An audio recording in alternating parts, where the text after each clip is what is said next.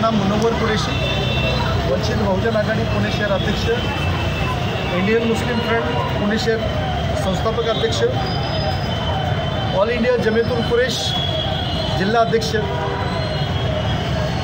बहुत दिनों से कुरेशी समाज पर अन्याय अत्याचार हो रहा है, जिसमें पुलिस के माध्यम से और आरटीओ के माध्यम से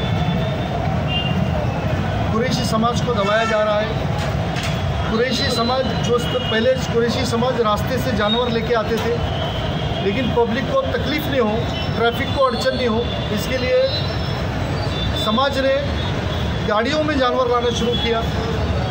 जब गाड़ियों में जानवर लाना शुरू किया, उस वक्त परमिट का इशू आया, कायदा सुव्यवस्था का इशू आया, जानवरों की क्रोल्टी का इशू आया। जबकि कुरैशी समाज में सिर्फ़ कत्ल करने वाले लोग नहीं हैं, ये व्यापारी लोग भी है जो शेतकरी से जानवर लेते हैं और दूसरे शेतकरी को बेचते हैं, ऐसा इनका पूरा व्यवसाय है।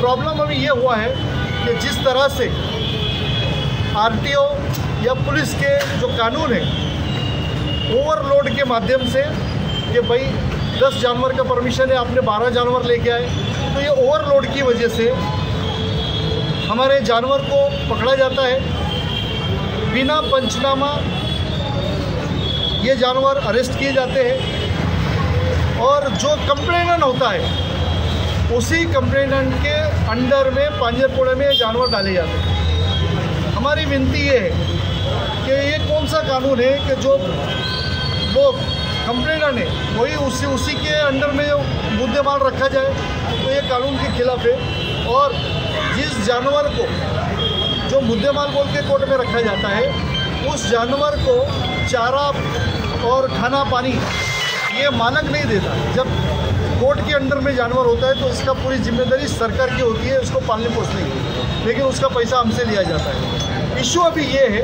कि जिस तरीके से मुद्देमाल या ओवरलोड जानवर गाड़ी में आते हैं, वैसे ही ओवरलोड गाड़ियाँ बहुत ज़्यादा चलती है, जिसमें हमने पूरी लिस्ट निकाली है।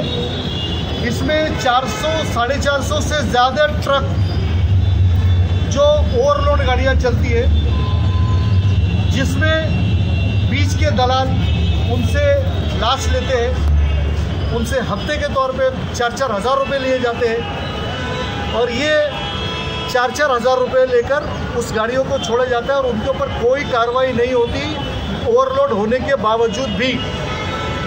हमारी विनती ये है कि अगरचे इन गाड़ियों पे भी कार्रवाई होती है। इन गाड़ियों पे भी कार्रवाई होती है तो सरकार के खजाने में करोड़ों रुपए आ सकते हैं। तो ये पूरी लिस्ट है। इसकी 400 से ज़्यादा गाड़ियाँ हैं। इसकी लिस्ट हमने, मैडम चेयरमैन अर्चना गायकवाड़ इनके सुपुर्द किए और उनसे निवेदन किया है, अगरचे इन ओवरलोड ट्रकों पे अगर कार्रवाई नहीं होती तो वंचित बहुजन आघाड़ी की तरफ़ से बहुत बड़ा धरना आंदोलन इसी प्रमाइसिस में आरटीओ के प्रमाइसिस में किया जाएगा।